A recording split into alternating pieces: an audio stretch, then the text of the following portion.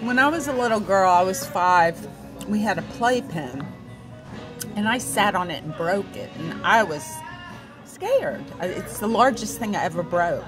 And um, I'm eat my mashed potatoes.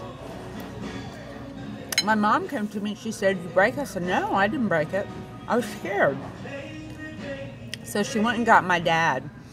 And my dad's big. I mean, he's six six foot one, and he came and he flipped me by my feet and held me upside down, and I could see the green shag carpet. It was like a moss green. It was pretty actually.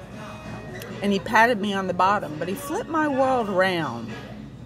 And to me, that's conceptual art. When I saw Duchamp, The Fountain, and say John Cage, and it got me to think about what I saw and other things too and question it.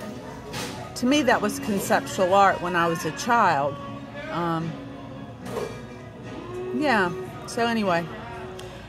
I think I think you can make conceptual art and still improve the quality of your painting and your technique. I don't think that has to go out the door.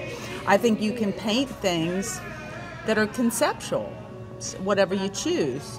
I think conceptual has a place in the art that we make because it's it's a new. I mean, it's not new. It, can, it well, everything's always conceptual, but you know, I think the way Duchamp came at it during the war was like that. It was a different way of coming at art to tell us to think about it. And I think that was really good. And then I love Lee Bontecou, and I love her strong during the birth control. The women get birth control, and and also the neo dada of a, you know, the war, the the Vietnam War going on. So I think conceptual art, and I do hope the VMFA gets more of that to show people.